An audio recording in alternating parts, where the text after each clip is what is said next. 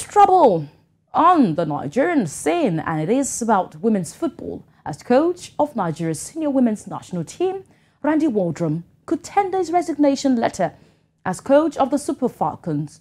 That's um, just three months after the start of the FIFA Women's World Cup, or before the start of the World Cup in Australia and New Zealand.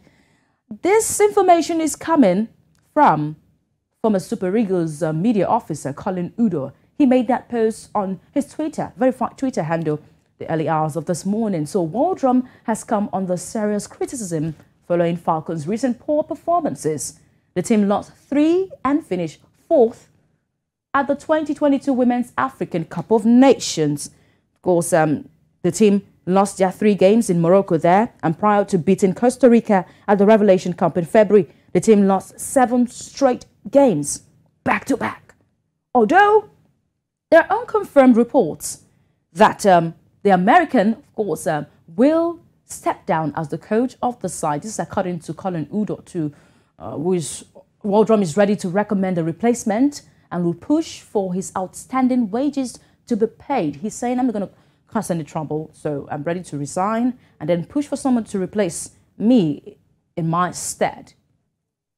But um, right now we've got joining us all the way from Abuja, one who talks women's football, one who is beautiful, Calista Enejele. Thank you so much for joining us on the show today.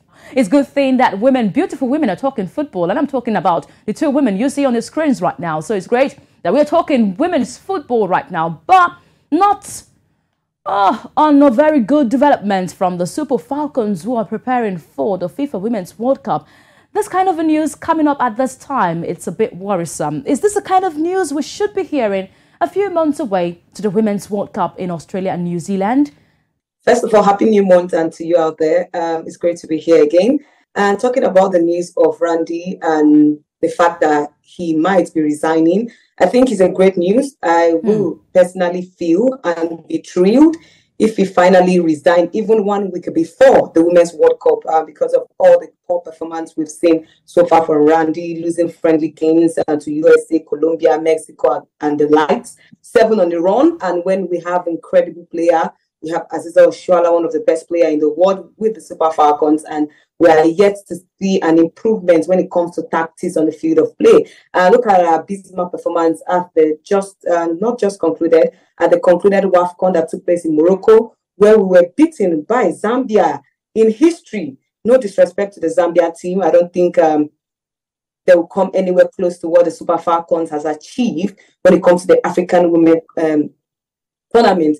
Now you look at the fact we're going to the World Cup where we have Australia on the group, we have Canada on the group, we have Ireland, and now the Super Falcons. We need a coach that is tactically right for the Super Falcons. Wandre has showed that he's not there. He's a college coach. And looking at the fact that Super Falcons is a national team, I, I see no reason whatsoever why he should be our coach in the first place. Not with respect to him, but I don't see a reason why he should be we have we, we have we have gone down in terms of performance on the field of play. We're not seeing the best. Ifeoma Onumonu, one of our own best players uh, has been shy up front in terms of goal. You look at Ziza Oshoala has not been our best, though injuries has not favored her when it comes to the Super Falcon. So we we pray that she'll be fit enough to be at the World Cup and the Revelations Cup that we just played a few months back uh, before uh, this window. You look at the fact that we're beaten by Colombia. We only managed to win the game against Costa Rica. Apart from that, beaten by Mexico, Japan, USA back to back. Then you have Colombia. So one Randy has really not proven his capability as a Super Falcons coach because we have incredible talent.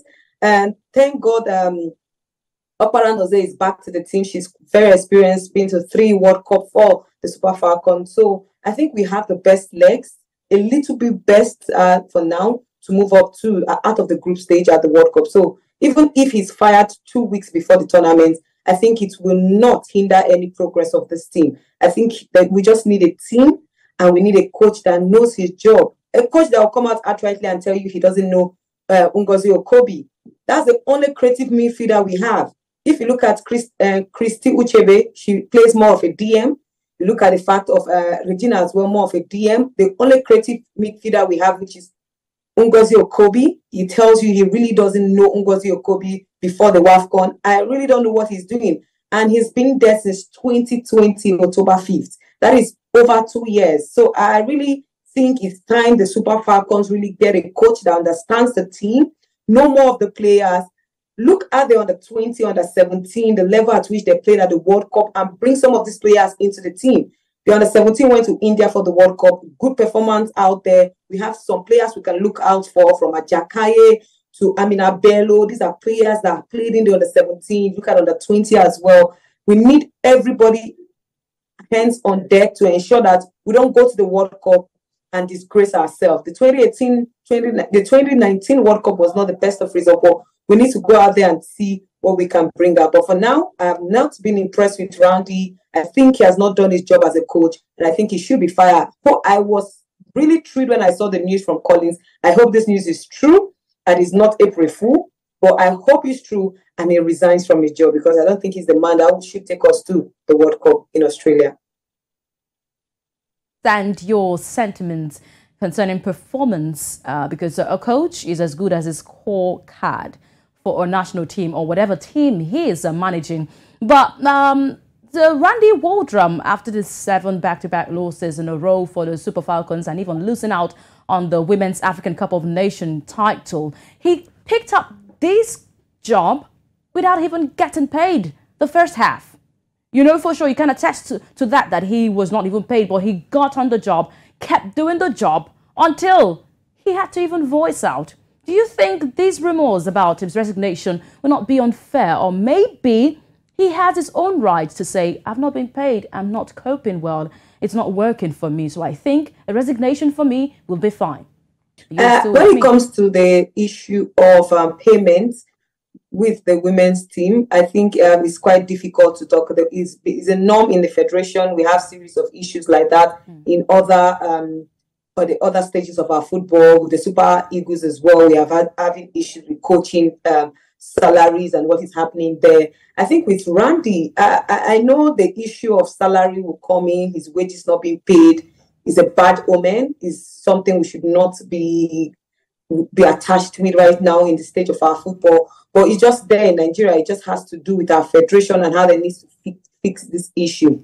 But I think Randy wants to resign because of unpaid wages. I think he's, he should resign. He has a contract. He signed a contract with um with the federation, so he's obliged to be paid. And if he's not getting paid, I, I don't think he should be there as the coach. Uh, no disrespect to him, but Did in the first place, I look at the issue of getting a foreign coach and an indigenous coach. Okay. Let's be factual. The amount of money Randy is receiving will not pay will not pay our indigenous coach. Don't you think you're money. being so, don't you think Calista uh, you're being sentimental by saying if he has not been paid then no, he should resign? You've no. said he should resign in the first place. Yeah, if he's not been paid, he should resign. But so it's like it's like issues a, way back. it's like a blessing in disguise. So are you saying it's a blessing in disguise that if he's not been paid yeah. and he wants to re resign, then he should resign because it's a blessing for us? Yes, as I said, if he's not getting paid, he should resign uh, it's a blessing to us, but it's a bad statement on the federation that you get uh, you employ a coach and you don't have to, you don't pay the coach. So it, it doesn't really stay well for us, especially in international things, whereby you hear headlines of news that uh, our coach resigned because of unpaid uh, wages. Whereby just a few days ago, you look at the former Saudi Arabia coach just got appointed by the France feminine uh, uh, women's side. So these are these, these are not news that we want to see in inter- international things. But if Randy has not been paid, I think he should be resigned, and the federation should step up their game and ensure that we don't have this situation, so that we don't have anything detracting these coaches from doing their job. They should get paid on time. They should get the proper support they need. They should get friendlies arranged for them. And it is something I want to say. But Randy has really enjoyed more friendly games with the Super Falcons. And I think I will have to give him credit for that because he has okay. used his connection okay. being the coach of the Penguins in the USA to ensure he gets these friendly games. Okay, what would you say would be a good replacement for Randy Waldrum, uh, an indigenous um, coach, or do you think we should have um, Thomas Dennerby be back? No, I, I really don't think uh, Dennerby should come back into the World Cup with Dennerby. After this World Cup, I think, truly, honestly speaking, we have absolutely no business having mm. players back into the team. From Onome, she has played and given Nigeria her best. She's going to turn 40. Uh, you have uh, uh, Rita Chikwelu, you have uh, Francisca Ordega. They have tried and given their best. I think it's time we open the door and usher in the under 20 players and other players are applying their trade uh, abroad. But now we have to do with a coach that knows these players. The scouting team as well needs to come in. This is where the technical department work hand in hand with the coach, and this is something we've we've had issues with over the past few years. Now the coach needs to look in depth, and that's one of the issues I had with one uh, Randy. Um, he hardly comes to Nigeria to watch the under 17. He hardly comes to Nigeria to watch the NWFL play and their game. The league is going on. We have Bayelsa, Robo Queen. Um, the Robo Queen we are enjoying today is a product of Rasheedat Ajibade, um, or Shuala. So he needs to come back and watch the league, uh, the NWFL league, the women's league, and see where some of these players can come into the Super Falcons. You can't really keep depending on player playing abroad. You really need to look inwardly because mm. these players you see out there abroad are a product of mm. our cadet level okay. and our league. So this is something um, the NFF will really need to look out for when looking out for a new coach that should take over the Super Falcons. I'm hoping that the Nigerian Football Federation will take into considerations all that you have laid down today to get a better Super Falcons going into the 2023 Women's World Cup. Thank you so much, Calista Enejele, uh, women's football commentator all the way from Abuja. We do appreciate your time on the show. Thank you for having me. It's a pleasure.